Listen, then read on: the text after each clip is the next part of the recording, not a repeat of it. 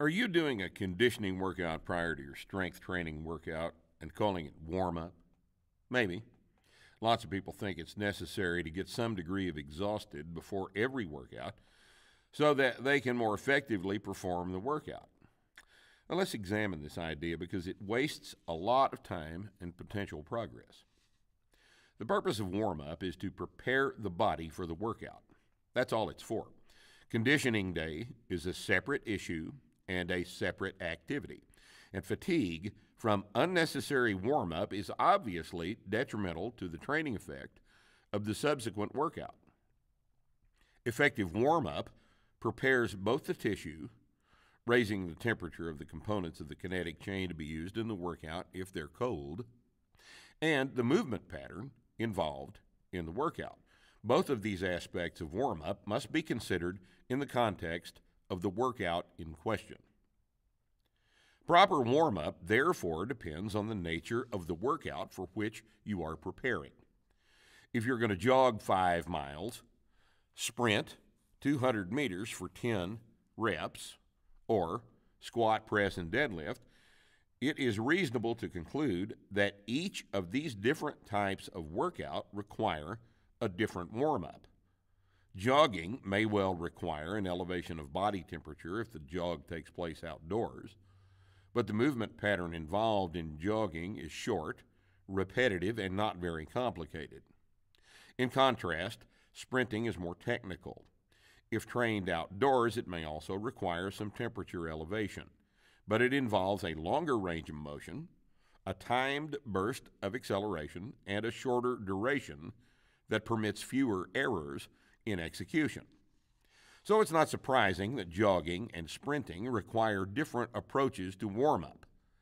Jogging gets warmed up by putting on your sweats if it's cold and starting to jog, slowly at first, and then up to pace after a few hundred yards. Sprinting, depending on the event, may require some specific stretching, some practice of starts off the blocks, and a few floatouts before the first effort at 75%.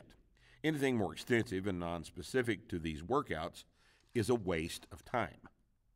Squats require that you do some position stretching for the bottom of the movement, a few light squats, and an appropriate progression in weight from the empty bar up to the work sets using proper technique.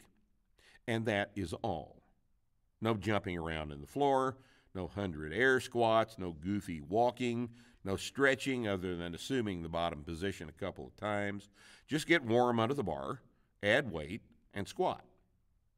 There is no evidence in either the literature or in the objective evaluated experience of coaches or lifters that 30 minutes of stretching before a barbell workout is anything other than a detrimental waste of time. We've demonstrated for the past 10 years that below parallel squats are not dependent on flexibility, but rather correct positioning of the stance, knees, and back angle. The bottom position stretch I mentioned is not really a stretch in the sense that the mobility people use the term, but a practice of the position to be assumed at the bottom before you start squatting. In fact, the vast majority of the studies on the subject show a decrease in power development if stretching is performed prior to the movement being tested. Stretching does not prevent injuries, and it does not increase performance. The full range of motion barbell exercises constitute their own stretch.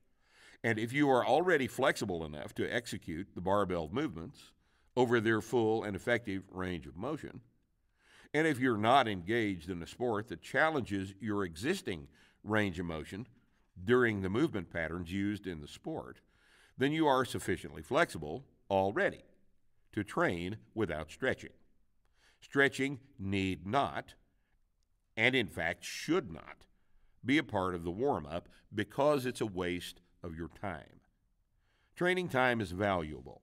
Paying for a coach to supervise an unnecessary half hour of pointless warm up is one of the more obvious examples, but so is personal time spent away from work or family in the gym or in the track.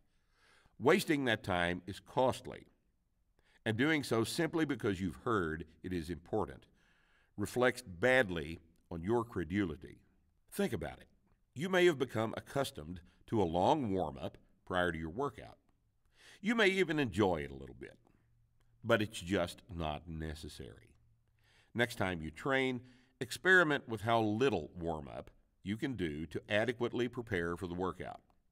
Effective training, not unnecessary warm up, provides the benefits of productive programming.